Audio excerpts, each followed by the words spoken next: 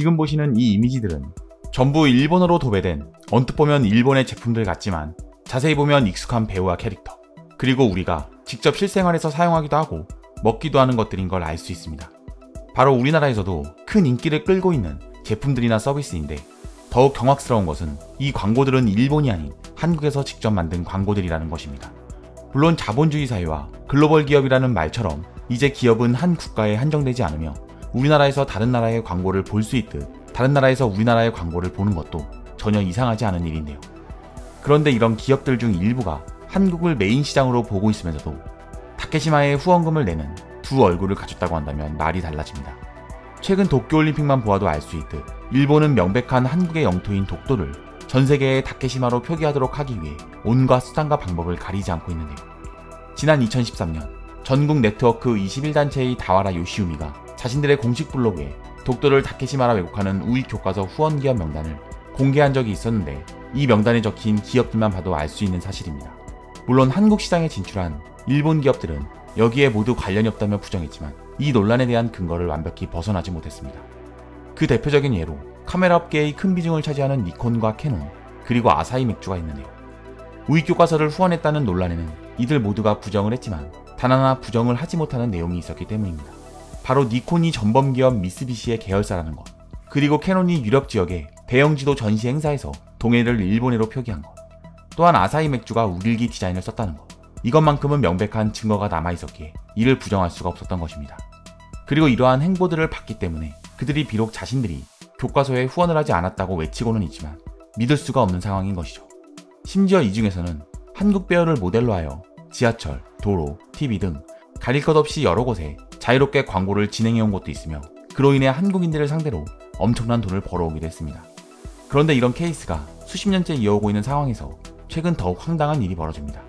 일본의 기업들은 여지껏 한국에서 이렇게 뻔뻔하게 광고를 진행해왔지만 한 한국의 기업이 터무니없는 이유들로 일본 측으로부터 광고 불가 통보를 받았기 때문인데요. 그것도 아주 충격적인 이유로 말이죠. 그 이유의 시작은 이 기업이 보인 행보에서부터 시작됩니다. 우리나라의 역사를 알리는데 진심이었던 이 기업은 자사 제품의 홍보보다 역사 알리기 활동을 더 많이 하는 기업으로 소문날 만큼 독도 후원, 욱일기 폐기, 뉴욕 타임스퀘어 한복 옥외 광고, 한국 고유문화 홍보, 동북공정 규탄, 여기에 역사를 왜곡하는 중일 누리꾼들을 상대로 한 국제소송까지 진행해 오고 있습니다. 그리고 바로 이러한 행동들이 점차 쌓여 일본의 심기를 불편하게 만들었던 것이죠. 그리고 최근 이런 그들을 드디어 폭발하게 만든 사건이 발생합니다.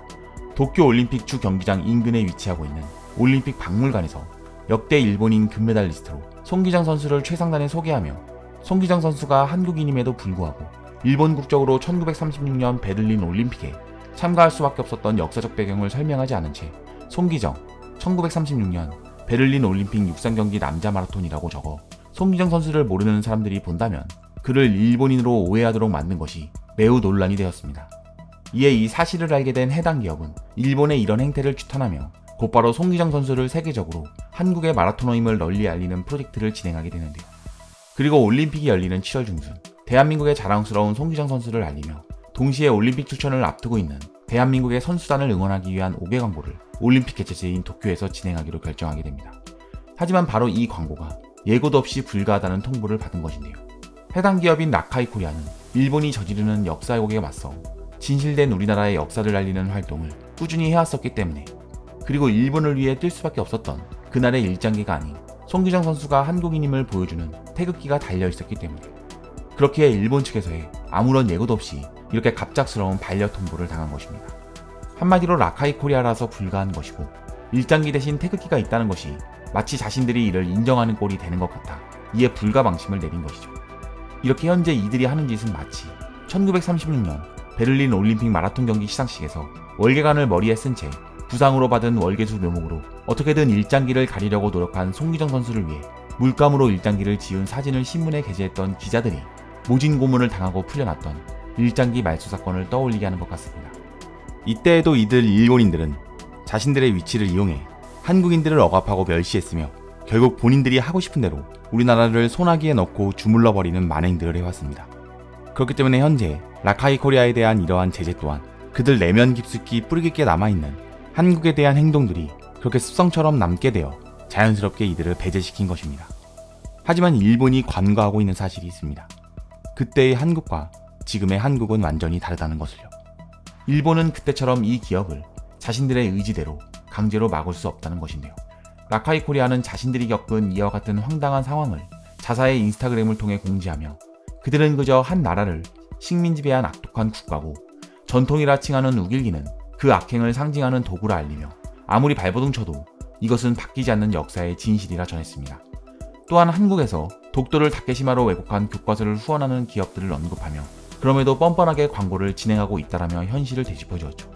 그리고 이 현실에 라카이 코리아는 앞으로 더 과감하게 도전해 보겠다고 입장을 밝혔습니다. 물론 계속해서 일본은 지금과 같이 우리나라의 역사를 본인들 입맛대로 조종 가능한 기업들만 일본에서 광고편을 내걸도록 할 것입니다. 하지만 만약 그렇다고 하더라도 라카이 코리아는 대한민국의 국민이기에 일본의 역사 왜곡에 대해 흐린 눈을 하면서까지 광고할 생각이 없다고 전했습니다. 거짓말도 100번 하면 진실이 된다는 일본의 속담이 있는데요. 그렇기 때문에 이들은 이 속담을 교훈 삼아 그렇게 현재까지 날조와 조작을 해오고 있는 중입니다. 하지만 문제는 이러한 거짓말이 어느새 세계에서 진실이 되어버린다는 것이죠. 그렇기에 일본이 우리나라의 역사를 왜곡하면서 100번의 거짓말을 하는 동안 만약 우리가 아무것도 하지 않고 그 거짓말을 잘못했다고 말하지 않는다면 정말로 100년 후에는 이것이 일본의 거짓말이 아닌 우리나라가 거짓말을 하고 있는 게 될 수도 있을 것입니다. 그래서 라카이 코리아는 끝까지 포기하지 않고 여기에 싸우겠다고 외치는 것이죠. 일본은 지금 유명 언론사들의 보도를 통해 라카이 코리아의 프로젝트들을 망가뜨릴 수 있도록 분위기를 조장하고 있는 중입니다. 하지만 손바닥이 아무리 커도 하늘을 다 가리지 못하듯 일본이 천문학적인 돈을 써서 아무리 여러 나라의 로비를 하던 혹은 막무가내로 역사적 자료를 조작해가면서 곧 들통날 거짓말을 하든 아니면 자신들이 저지른 비인간적인 행위를 없었던 일이라고 우기든 결국 우리나라의 역사를 끝까지 왜곡할 수는 없을 것입니다. 이를 증명하듯 현재 많은 세계인들은 라카이 코리아의 국제소송에 관심을 가지며 여러 국가에서 기사를 보도하고 있고 수많은 외국인들 또한 독도를 외치며 이 기업을 응원하고 있습니다. 그렇기에 이들은 이처럼 패션 브랜드로서 우리나라의 역사를 전 세계에 전파하면서 일본이 자신들의 잘못을 깨우치고 반성하는 날이 올 때까지 자신들이 행할 수 있는 최대한의 영향력으로 언제나 최선을 다하겠다고 말하고 있습니다. 앞으로도 라카이 코리아가 이러한 대한민국 국민들의 응원 아래 가장 한국적인 제품을 만들어 나갈 수 있도록 모두가 함께 응원해 주시는 건 어떨까요? 이상 세모반의 듬직한 리포터 진포터였습니다.